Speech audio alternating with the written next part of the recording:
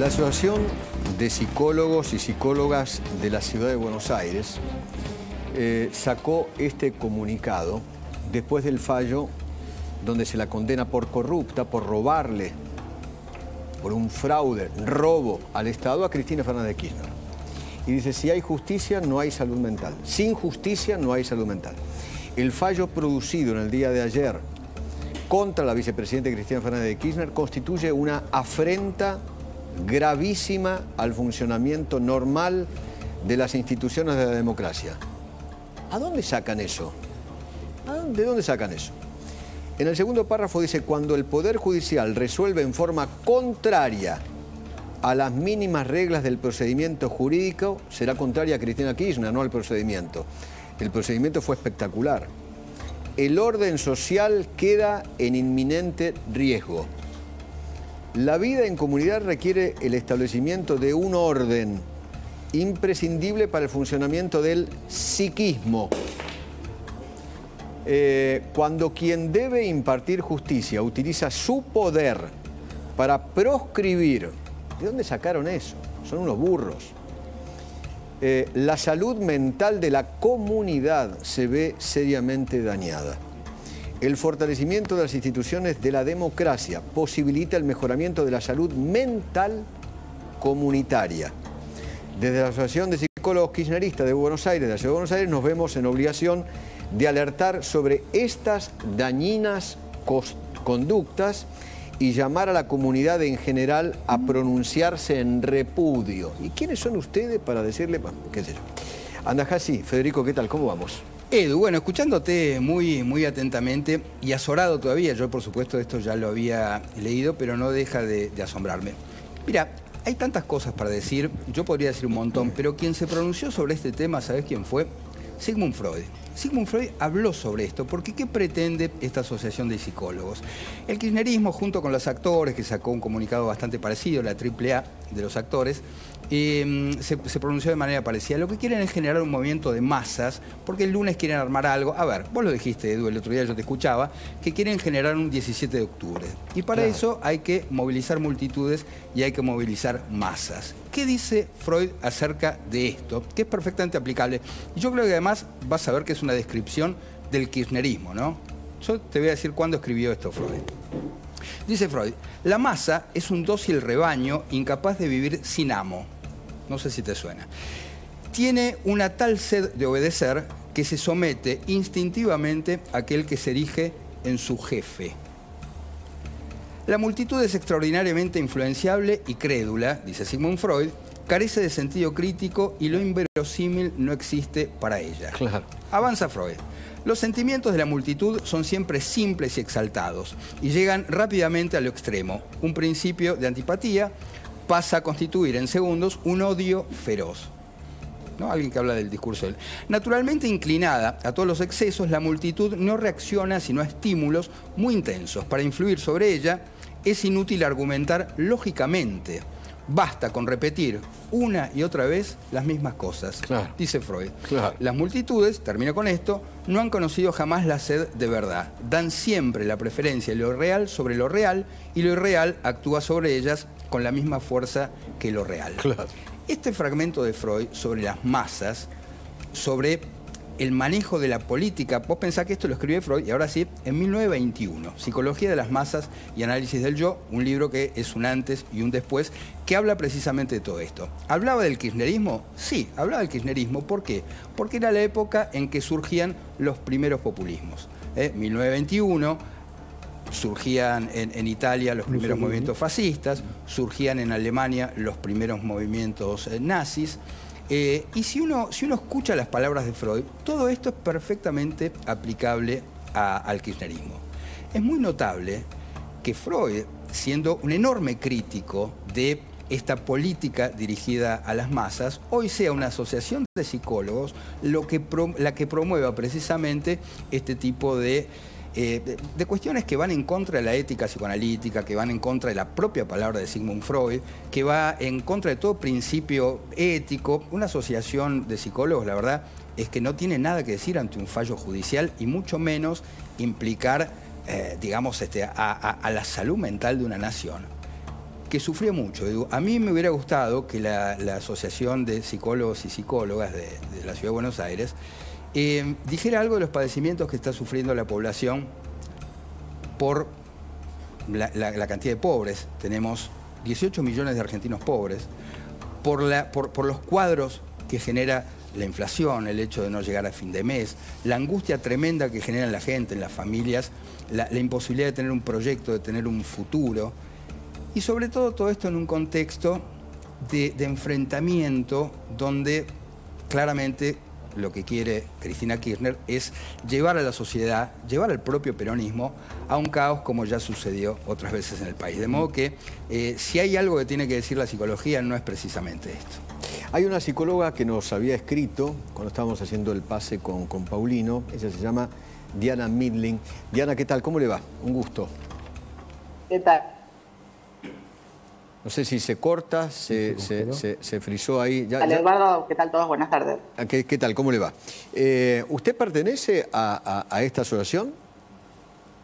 No, no, yo no pertenezco a la Asociación de Psicólogos, ni siquiera de la provincia de Buenos Aires, pero porque yo con todo respeto, Federico, no soy psicoanalista, con lo cual eh, también eso tiene que ver con una cuestión política en la Asociación de Psicólogos de Buenos Aires, pero de la provincia de Buenos Aires. Claro, claro. Me, gustaría su visión sobre, sobre este comunicado.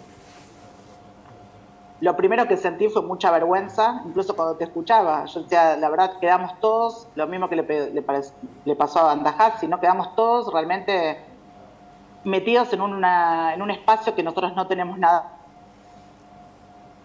que ver. Lo que yo te comentaba hoy en el mensaje era que la verdad que la gente, como tal como dijo recién, viene desesperada, está angustiada. Desde la pandemia, tienen, yo hice talleres y todo el tiempo ponía reinventarse, reinventarse, porque la gente no tiene dónde agarrarse. No hay eh, una situación eh, estructural donde se puedan agarrar, pues esto no es de dos años, no es que, no, no para hacer política, pero realmente hacemos políticas todo el tiempo y la gente está con una tristeza, una angustia y una ansiedad que no, o sea, lo menos que podrían haber hecho es, lo que no tenía que haber hecho es ese comunicado.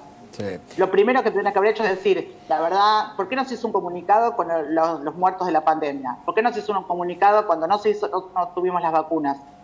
¿Por qué no se hizo un comunicado con los, eh, cincuenta y pico por ciento de la gente que está eh, indigente? O sea, los chicos que no comen, para eso no hay comunicados con la fiesta de Olivos, que eso le rompió la cabeza a medio mundo en el país, ¿no? Cuando se dieron cuenta el engaño de este gobierno, ¿no?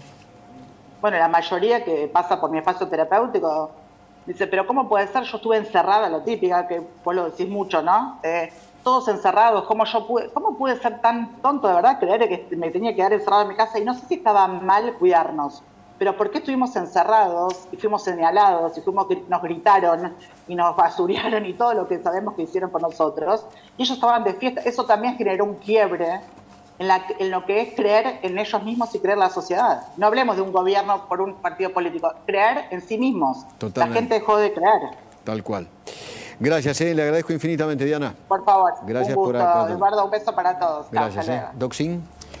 Eh, a ver, Creo que lo, de Federico fue contundente, eh, lo dijo Freud además, que supongo esta gente debe conocer, Sigmund Freud, un señor nacido en Viena, hizo una larga historia y creó un movimiento que hoy es una, doctrina y además es una, especialidad médica, etc. Eh, yo hubiera querido, con todo respeto, que hubieran dicho algo acerca del el padecimiento psíquico, del aparato psíquico de los familiares de los 130.000 muertos en Argentina por la pandemia, que todavía sigue ocurriendo, siguen ocurriendo muertes, se cuentan pocas, pero siguen ocurriendo, acerca de qué pasó con el aparato psíquico de toda esa gente que murió, cuya muerte pudo haber sido evitada. ¿Y cuando se robaron las vacunas? ¿Y eh, cuando el vacunatorio vi? ¿No sabes qué estaba buscando? Cuando otros se querían vacunar, no. Esta cosa este es el primer comunicado que hace esta gente en su ah, historia. ¿En serio? ¿En la historia? Eh, ah. Estuve buscando en su página ah. institucional. Resulta que hay muchos talleres y muchas propuestas y muchas tonterías, pero esto, hacerlo público. Ustedes han visto otra asociación de psicólogos, porque en Buenos Aires hay de médicos psicoanalistas, de médicos psicólogos, de psicólogos, perdón, de psicólogos y psicoanalistas, APA, ABDEVA, ¿han visto alguna o han leído de alguna institución seria de la Argentina de psicólogos o de gente que tenga que ver con el aparato psíquico que haya sacado un comunicado de prensa de este tipo? Estos son mercenarios, no son psicólogos. Son psicólogos a sueldo de, que son dos cosas diferentes. Porque mal dejan parados a la, a la, a la profesión tratando a la gente de este modo, haciéndonos creer que nosotros enfermamos porque hay justicia. Ustedes se dan cuenta la, gran paradoja de este comunicado de prensa. Nosotros enfermamos porque se hace justicia. ¡Wow! Mm. Fede. Es, muy importante lo, que señala el doctor y, y permíteme que agregue algo más. Este, este, este, comunicado pone de manifiesto lo que ha hecho el kirchnerismo con todas las instituciones en general, no solamente de psicoanalíticas, porque esta asociación de psicólogos se llamaba hasta hace muy poco, ahora es de psicólogas y psicólogos, es, bastante antigua, es de los años 60 eh, en algún momento, digamos, tuvo una, participación bastante destacada desde el punto de vista académico. Eh, y, este declive que, termina en este comunicado ya también se, vincula un poco, tuvo mucha participación en la ley de salud mental, que ocasionó una tragedia en este país. Una, tragedia, como todos sabemos y, hemos visto las consecuencias, este proceso de desmanicomilización que pretenden, que, esto también es mentira, llevar adelante, lo que produjo es que haya una, cantidad enorme de, personas que han quedado sin tener un, lugar donde estar, que han quedado en situación de, situación de calle, que han quedado completamente este, desahuciadas. Y, mm, claro, eh, eh, esa ley que, uno puede decir, sí, en el fondo está bien discutir la institución del manicomio, pero no, es eh, dejando a la gente en libertad, corriendo su propia vida a la deriva, poniendo en riesgo la vida de los demás. Este, la verdad que, fue una, deriva bastante, eh, bastante lamentable, pero esto hizo el kirchnerismo con todo, lo hizo con las asociaciones de derechos humanos, lo hizo con las asociaciones de abogados, lo hizo en las instituciones médicas, lo que tocó el kirchnerismo lo rompió, lo dividió. Esta estrategia del kirchnerismo de, agarrar todas las instituciones y partirlas por la mitad, también lo hizo dentro, de la psicología y dentro de la cultura. Yo te decía que la AAA de los actores eh, también sacó un comunicado parecido, está parece hecha por la, misma, por la misma mano, en realidad. Y el propósito de esto es doble. Por una parte, hacerle creer a la sociedad que la cultura es kirchnerista, que los psicólogos son kirchneristas, que los actores son kirchneristas, que los escritores son kirchneristas. Y esto es mentira. La gran mayoría de los escritores, de quien soy muy, muy amigo de, muchos de ellos, no son kirchneristas, todo lo contrario. Puedo, Marcos Aguini, Marcelo Birmacher, Santiago Kovadlov, eh, eh, en fin, podría eh, pasarme la tarde mencionando, Gonzalo Garcés, actores, Luis Brandoni, Ricardo Darín, psicólogos, la gran mayoría de psicólogos, que son colegas míos con los que yo hablo, que trabajan en hospitales, en instituciones públicos, públicas, no son kirchneristas. esta es una ficción que armó también el kirchnerismo. Contame una cosa, ¿vos crees que, como dicen aquí estos, estos psicólogos, mostrar la foto del presidente y de la vicepresidente de esta asociación, este es el doctor Klingo, mucho gusto, Klingo Feynman, ¿qué tal? ¿Cómo le va? Me encantaría hablar con usted, pero me imagino se debe haber tomado el fin de semana largo. Y también la diputada Mara Brauer, diputada de la Ciudad de Buenos Aires, eh, cara conocida, la, verdad que la he visto en muchos medios. También la estamos buscando para, para, para que explique esta, esta barrabasada pero la verdad hasta ahora no, no pudimos encontrarlos. Tampoco seguramente van a hablar con nosotros, van a hablar seguramente con un medio CAI, con un periodista que le va a tirar todos los centros seguramente. ¿Cree Federico sinceramente que eh, una, una, un, fallo, una condena le puede romper la cabeza a la gente porque han condenado a una corrupta? Bueno, no solamente que no le puede romper la cabeza, sino que la gente, insisto, tiene muchísimas otras preocupaciones que no tienen que ver con una persona. Esto que hizo la Asociación de, Psicólogos es otra vez llevar, meter un embudo para que todo el mundo piense en una sola persona.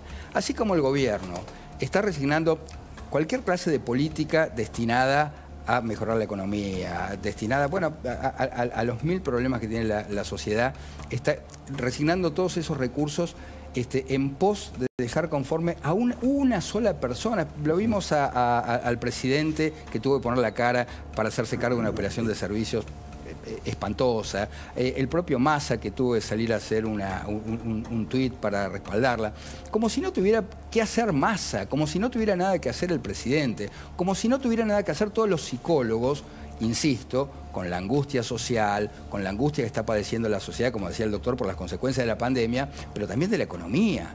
Pero además, Edu, el único recreo que teníamos, el único, era el Mundial. La gente está muy contenta con esto. Eh, y, de verdad que merecemos este recreo y merecemos tener, aunque sea una alegría futbolística. Bueno, no, Cristina también quiere privarnos de esa alegría y quiere que todo el mundo esté angustiado, que todo el mundo esté apesadumbrado por su situación judicial.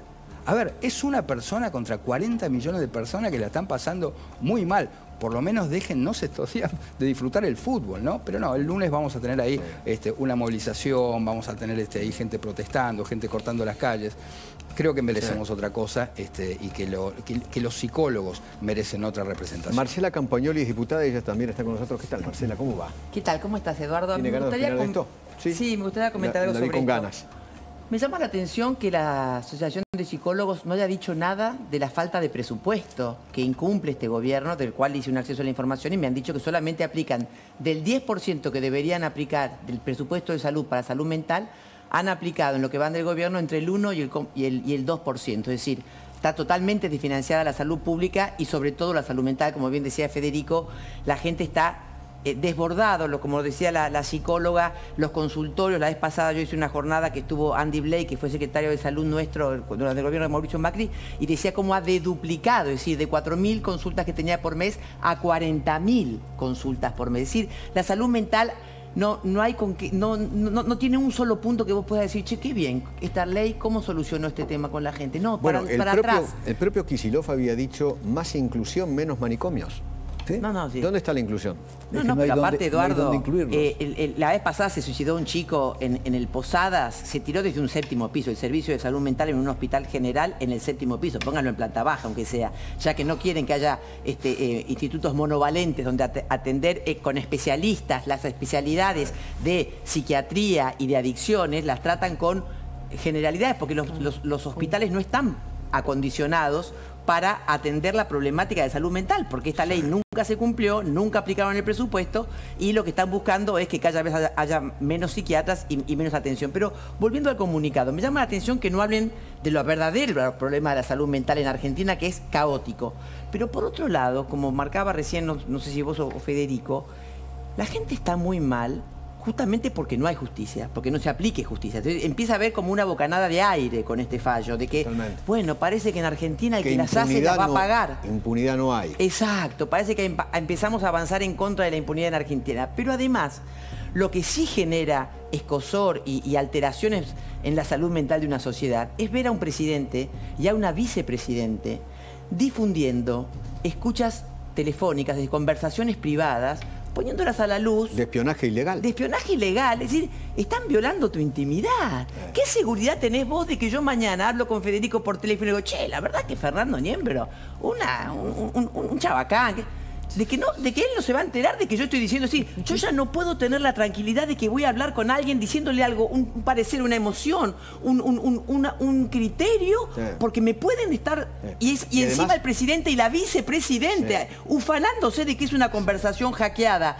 y una conversación privada, poniéndola a la luz de todo. Y eso lo comparan con Wikileaks, por ejemplo, ¿no? Ah, diciendo, Esto, esto es como Wikileaks, esto, esto se puede hacer. eso altera la salud mental de una sociedad. Saber que tu intimidad no está resguardada, saber que tu salud no está resguardada, saber que utilizan este, las vacunas para beneficiar a propios este, y, y,